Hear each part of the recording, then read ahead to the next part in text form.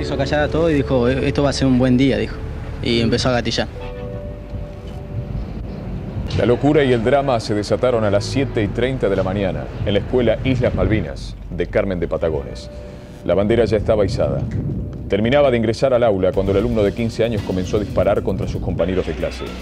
Vació el cargador del arma 9 milímetros que había robado a su padre, un prefecto naval. Tres muertos, dos chicas y un varón. Cinco heridos, tres de gravedad. Las víctimas cayeron a metros del mural que decora uno de los patios internos del establecimiento. Cuando fue detenido encontraron entre sus ropas dos cargadores. En directo, Diego Pietrafesa. El interior de la escuela Islas Malvinas, el aula donde se desarrollaron los hechos. Todavía policía bonaerense trabajando. Dos marcas de balazos que han roto el grueso revoque del lugar. Los bancos todavía están desordenados y quedaron después de que los alumnos en una estampida intentaron salir de aquí. Cuando llegó la policía y lo detuvo, el panorama era dantesco. Sangre por las paredes y los pisos. Los dibujos de guerra que decoran la escuela contemplaban impávidos la masacre.